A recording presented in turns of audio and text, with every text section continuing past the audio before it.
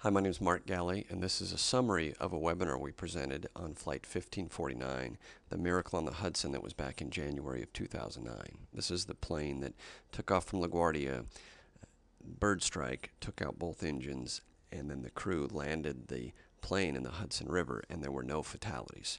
Um, so it's certainly a failure of the engines, but it's a success that there were no fatalities. So we're looking at this as kind of a root cause success analysis on why did things go well? And you can use the same approach in, in your business. You probably remember the uh, the images in the newspapers and on, on TV, uh, on the internet about the aircraft when it landed in the river and the people that are that are standing on the wings as the boats come to uh, to pick them up. So kind of a neat story at the time.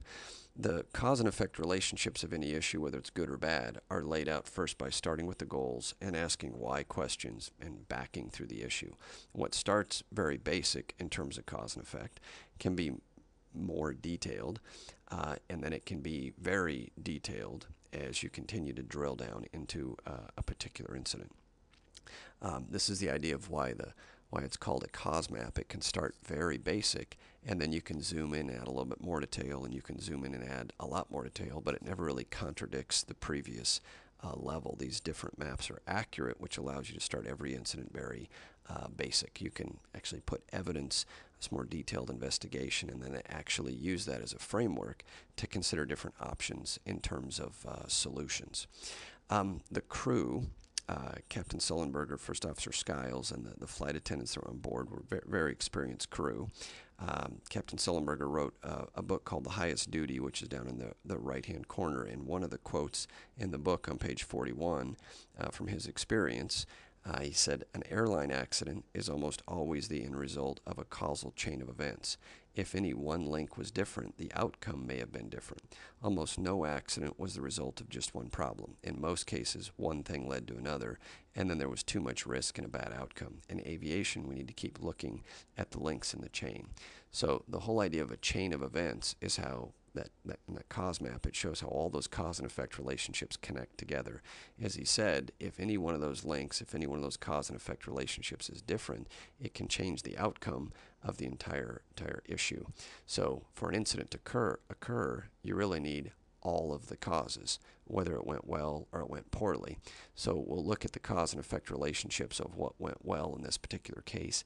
The NTSB did a, a thorough investigation, and there's a kind of a neat animated graphic at ntsb.gov about this incident and the flight path, and you can see the, some of the transcript of the communication between um, Sullenberger and Skiles, and then the communication between um, the aircraft and the, the control tower when this was going on, and you get an idea of how, how these people manage a crisis uh, right in the middle of that uh, event in terms of how clear and calm the communication is. Now, root cause analysis is typically used for something that has already happened that was negative, but you can also do cause and effect analysis on something that you want to prevent from occurring in the future. Um, you can do cause and effect analysis on something that turned out well in this particular case and you want to know why it went well, but you can also map something that has not happened yet, but you want to produce those results in the future. So it's a desired result in the future you want to create. Root cause analysis is usually thought of as working a failure. Failure modes effects analysis is looking at cause and effect relationships of things in the future. And then we basically just uh, added the word success if you're looking at anything positive. So cause and effect really doesn't change based on the issue you're working. It's just was it a positive issue? Was it a negative issue? Was it in the past or was it in the future? But the principle of cause and effect stays the same in all four cases. So on our website, which is at thinkreliability.com, there's a three page PDF in the uh, cause map examples for um, the Flight 1549.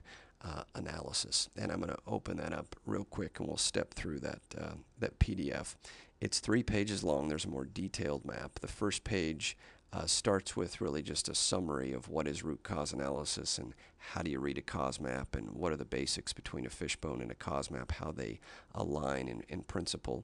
And then it's got some notes here about the cause and effect relationships within this incident. So the question here is, well, why did the captain decide to ditch the aircraft in the Hudson? You know, well, because the aircraft was unable to maintain altitude and the plane was already aligned with the river, and the pilot was avoiding an attempt to land uh, at the airport, which actually was too far away and it actually moved him away from the, the populated areas. Well, those causes are shown here in terms of producing uh, this effect. There are some more cause and effect relationships uh, with a basic problem outline on the next page. And one of the questions is, well, why on this incident were there no fatalities in the city? Well, in this case, the, the crew they guide the aircraft clear of populated areas. They're uh, they're able they decide to ditch in the Hudson River, and the aircraft is already at 3,200 feet. The point here is that the pilot guided the aircraft clear of populated areas because they're at this altitude of 3,200 feet and they decided to ditch in the river. And there's some causes of why they decided to ditch in the river, one of them being they're unable to maintain the altitude because of the bird strike. If the bird strike happened at 800 feet, it could significantly have changed this incident. So it's not great to have the bird strike, but the fact that it's over 3,000 feet uh, mitigates risk because they're able to clear um, New York and in this case line up with the Hudson when you go through the detail of why did the aircraft land smoothly in the water, which resulted in the plane not breaking apart, not having fatalities over here, instead of just saying, well, it's the skill of the crew and the captain, there's really detail in here that say, well, what do you mean? What what specifically has to happen? And this is what you do in your company instead of just saying, well, this went well because they know what they're doing, is you'd identify what specifically did they do? So the aircraft nose was kept up, the wings are level, and in this particular case, the river is calm. If it was choppy, it could have been more of a problem on how the aircraft came into the to the water, and that's because um, the nose is up, the aircraft is level because it was flown smoothly because of the skill of the captain, and when they designed the aircraft, uh, the control surfaces could still be uh, moved in terms they could fly the aircraft even without the uh, the engines providing the power, which is an important idea in the design phase to also mitigate risk. Why were there no fatalities? Um, because of hypothermia.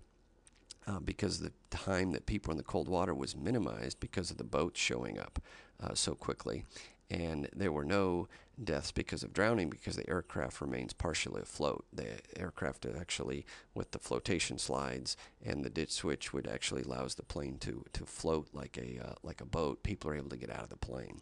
That allows for a more detailed analysis where all these cause and effect relationships can be connected together. So to show how these link, there's a, a simple view here that shows here's that, that first page that I went over of the PDF. And then there's some of the cause and effect relationships here on that second page. And what we shown, uh, what is shown here is that these cause and effect relationships fit right over here in this part of the map. These cause and effect relationships are, are in this part of the map. And then this one down here is shown and this one down here is shown. So if you print out this PDF, you can read through it and see all of the things that had to happen to produce this result of no fatality. So the altitude of the aircraft and the way the crew responded, uh, the role that the flight attendants played in terms of preparing the aircraft. So one of the examples is the the um, the slide that deploys when the door is open. Uh, it floats and people are able to get out on that that slide. It, it acts like a, a raft in that case. That slide has to be armed and disarmed every time the plane. Um, leaves the jetway or arrives at the jetway so they can open the door. Flight attendants with 26 years of experience may have never deployed the slide because they've never landed in the water before, but for 26 years on every flight, they arm and disarm the door. And some companies say, well, we haven't had this issue for five years. I don't know if we really need to keep doing this task. But you see how important that is for a highly reliable organization or what happens within the aviation industry is they run through a checklist and say we need to go through these things on every single flight. So there's some good lessons inside the detail of this analysis that you can use within your group. If you're not flying aircrafts, you still have this idea of risk, and there's some lessons in here on what can be done can, to mitigate that. So if you have any other uh, questions about um, our approach, our method, or are interested in, in uh, attending any of the training or seeing one of your incidents work, don't hesitate to contact us uh, at the information here on the on the screens. Thanks very much, and have a great day.